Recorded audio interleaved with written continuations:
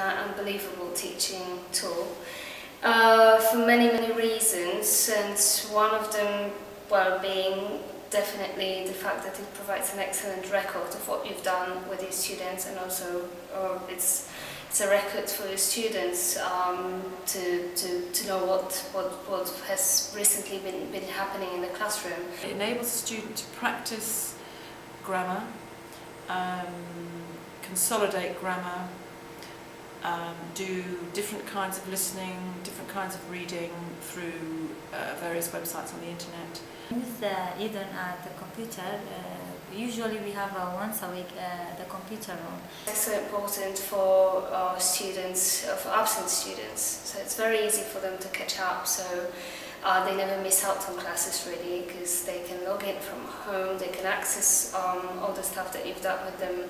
Um, the, the joy of it is that it, you, each student will be able to um, access something at their own level.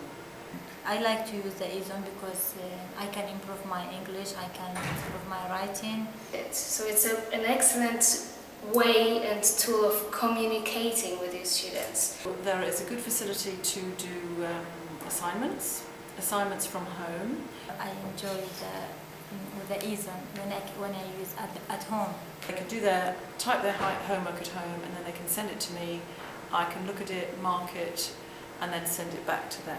It's an excellent way of, for, for our students to provide feedback. They often comment on activities and things uh, by means of mostly assignments, but also chats. Chats, I mean, chats are just amazing. People simply, our students use, use them to communicate uh, in writing with each other during class and with, with the teachers. There's also things like quizzes um, to consolidate their learning.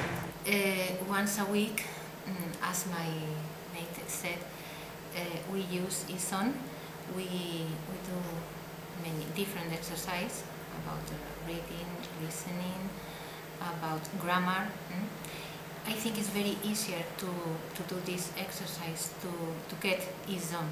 My students truly have, have truly enjoyed using Moodle and have only been pointing out advantages really. You can upload anything that you want them to do um, and so it's a very good facility from that point of view.